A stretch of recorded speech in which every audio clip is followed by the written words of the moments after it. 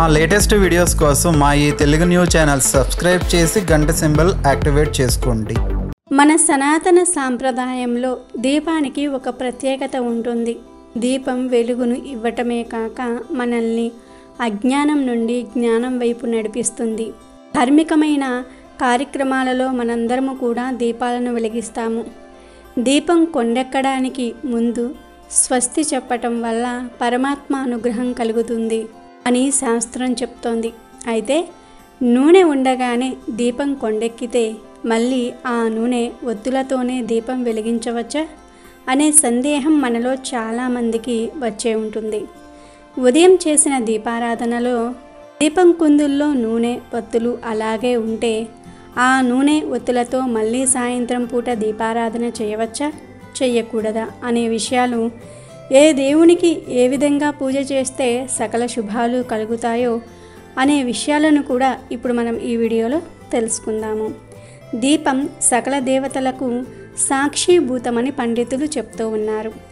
దీపం వెలిగించే కుందిలో కింది భాగంలో బ్రహ్మ మధ్య భాగంలో విష్ణువు ప్రమ్మిదలో శివుడు వత్తి వెలుగులో సరస్వతి వెలిగే జ్యోతిలో లక్ష్మీదేవి కొలువై ఉంటారని ప్రతీతి. అందుకే పూజలో భాగంగా దీపాన్ని వెలిగిస్తారు. దీపాన్ని పూజిస్తారు కూడా.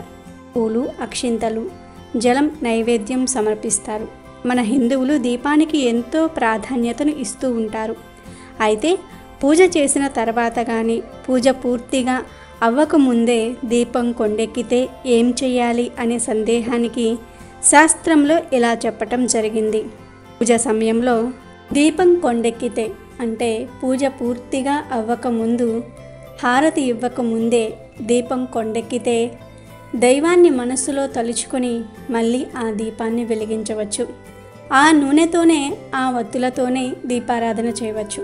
ఒకవేళ పూజ మొత్తం పూర్తయిపోయి హారతి ఇచ్చిన తర్వాత మీరు వేరే పనులలో ఉండగా నూనె ఉండగానే దీపం కొండెక్కితే కాళ్ళు చేతులు కడుక్కొని మళ్ళీ దీపారాధన చేయవచ్చు. అని శాస్త్రం తెలిసిన పండితులు చెప్తూ ఉన్నారు. అయితే ఈ దీపారాధన కూడా పూజ చేసిన కొంత సమయానికే దీపం కొండెక్కితే అది మీరు చూస్తేనే దీపారాధన చేయాలి తప్ప పదకొండు గంటలకు పన్నెండు గంటలకు దీపారాధన చేయకూడదు. దీపం కొండెక్కిన విషయం అసలు మీకు తెలియదు. సాయంత్రం దీపారాధన చేసే సమయంలో చూసేసరికి దీపం కుందుల్లో నూనె వత్తులు అలాగే ఉంటే వాటిని తీసేసి మళ్ళీ కొత్తగా నూనె పోసి వత్తులను వేసి దీపారాధన చేయాలి. మనం మధ్యాహ్నం భోజనం చేసిన పళ్ళాన్ని కడక్కుండా సాయంత్రం మళ్ళీ అదే పళ్ళెంలో భోజనం చేయం కదా? అదే విషయాన్ని దేవుని పూజ విషయంలో కూడా పాటించమని శాస్త్రం తెలిసిన పండితులు చెప్తూ ఉన్నారు. ఒక్కసారి మీరే ఆలోచించండి. మనం ఉదయం తిన్న పళ్ళెంలో మధ్యాహ్నము తినము మధ్యాహ్నం తిన్న పళ్ళెంలో సాయంత్రము తినము.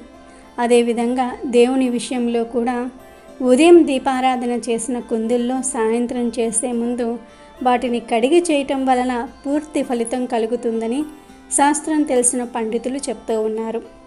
మనం ఏ పూట గిన్నెలను ఆ పూట కడిగేసుకుంటూ ఉంటాం కదా? ఏ రోజు వంట ఆ రోజు చేసుకుంటూ ఉంటాం కదా? మరి అలాగే దేవుని దీపారాధన విషయంలో కూడా జాగ్రత్తలు తీసుకోవాలి. ప్రొద్దున చేసిన దీపారాధనలో మిగిలిన నూనె ఒత్తులను వేరుగా తీసేసి మళ్ళీ దీపం కుందులను కడిగి కొత్తగా నూనెను ఒత్తులను వేసి సాయంత్రం దీపారాధన చేయాలి అప్పుడే ఆ దీపానికి ఫలితం దక్కుతుంది. ఒకవేళ సాయంత్రం చేసిన దీపారాధనలో కూడా నూనె వత్తులు అలాగే మిగిలిన లేదా నూనె అయిపోయి వత్తులు అలాగే ఉన్న వాటిని తీసివేసి కుందులను కడిగి దీపారాధన చేయాలి ఒక కుందులోనే కాదు దేవునికి పెట్టే నైవేద్యం ప్లేటు కూడా కడుక్కోవాలి అని పండితులు చెప్తూ ఉన్నారు. మనం రోజు ఎలా అయితే ఆహారం విషయంలో జాగ్రత్తలు తీసుకుంటూ ఉన్నామో దేవునికి చేసే నైవేద్యం విషయంలో కానీ దీపారాధన విషయంలో కానీ పూల విషయంలో కానీ అవే జాగ్రత్తలు తీసుకోవాలి. అయితే దీపం కుందుల్లో పదే పదే నూనె వత్తులు అలాగే ఉండిపోతే ఆ నూనెను ఆ వత్తులను వేరుగా ఒక దానిలో వేసుకోవాలి. ఒక నెల రోజుల్లో ఐదు ఆరు సార్లు ఇలానే జరిగితే ఆ వత్తులను ఆ నూనెను విడిగా ఉంచుకొని అమావాస్య ముందు వచ్చే ఆదివారం రోజున కానీ అమావాస్య రోజున ఆ వత్తులను అన్నిటినీ కలిపి ఒక వత్తిగా చేసి మిగిలిన నూనెను ఒక మట్టి ప్రమిదలో వేసి సగం కాలిన వత్తులను కూడా ఆ ప్రమిదలో వేసి తులసి చెట్టు దగ్గర ఆదివారం లేదా అమావాస్య రోజు సాయంత్రం ఆ వత్తులు నూనెలతో దీపారాధన చెయ్యండి ఇలా చేస్తే మీ ఇంటిలో వారికి ఏదైనా కీడు జరగబోతున్నా ఆ కీడు తొలగిపోతుంది. దీపం విషయంలో తగినన్ని జాగ్రత్తలు తీసుకోవాలి. అలాగే దీపారాధన చేసిన తర్వాత కొందరి ఇంట్లో దీపం కుందిల్లోని ఒత్తులు పూర్తిగా కాలిపోతాయి. అలా కాలిపోతే చాలా మంచిది అని శాస్త్రం చెప్తోంది. వత్తులు పూర్తిగా కాలిపోతే ఇంటిలో ఏదైనా చెడు ఉంటే అది తొలగిపోతుంది అని పండితులు చెప్తూ ఉన్నారు. మరి దీపారాధన చేసిన తర్వాత లేదా దీపారాధనలో ఉండగా దీపం కొండెక్కితే ఏమి చేయాలో చెప్పుకున్నాం కదా.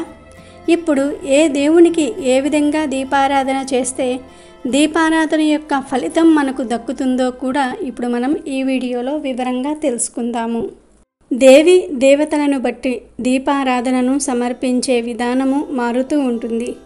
శివుడికి ఎడమవైపు విష్ణువుకి కుడివైపు దీపారాధన చెయ్యాలి. ఏ దేవునికి ఎదురుగా దీపారాధన చేయకూడదు. అమ్మవారికైతే తెల్లని బియ్యం రాశిగా పోసి దాని మీద వెండి కుందిను పెట్టి దీపారాధన చేస్తే మేధస్సు సాత్విక మార్గంలో సంపాదన పెరుగుతాయని గుమ్మానికి ఎదురుగా ఉండే తులసి కోట దగ్గర మట్టి ప్రమ్మిదలో దీపారాధన చేస్తే ఇంట్లోకి దుష్ట శక్తులు రావని పండితులు చెప్తూ ఉన్నారు. శనీశ్వరుని పూజించటం మాట అట్టుంచితే తలుచుకోవడానికి కూడా చాలామంది భయపడుతూ ఉంటారు. అయితే మనలోని జీవశక్తికి ఆయుష్కు ఆదిదేవత శనీశ్వరుడే. అందుకే ఆయనకు అరచేతిలో నల్ల వస్త్రాన్ని తీసుకొని అందులో నల్ల నువ్వులు పోసి మూటకట్టి దాన్నే వత్తిగా చేసి దీపారాధన చేయాలి.